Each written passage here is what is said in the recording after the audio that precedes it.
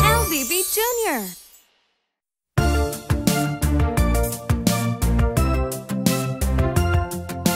Três porquinhos, três porquinhos, três porquinhozinhos, três porquinhos.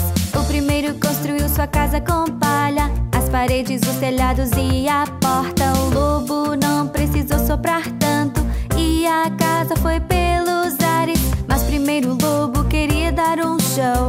soprar e soprar sua casa até cair. Se você não me deixar entrar, de jeito nenhum eu vou deixar.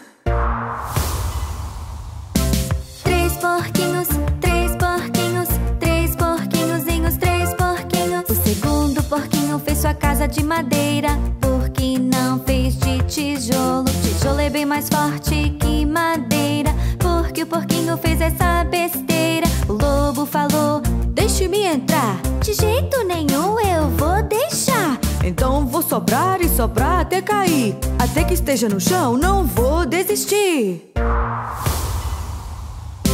Três porquinhos, três porquinhos, três porquinhozinhos, três porquinhos. Terceiro porquinho construiu sua casa forte de tijolos pra não contar com a sorte. Quando o lobo tentou casa aguentou, ele não quis acreditar.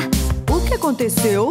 Por que não cai? Ele ficou confuso e com dores nas bochechas. Eu vou entrar pela chaminé. Mas o terceiro porquinho era muito esperto.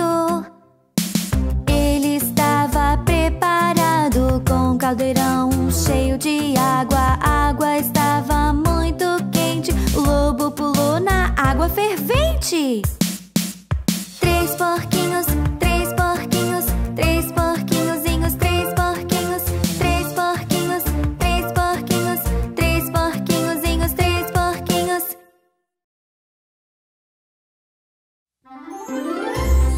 Assista o próximo vídeo do LBB Jr. agora! Para mais grandes vídeos, subscreva!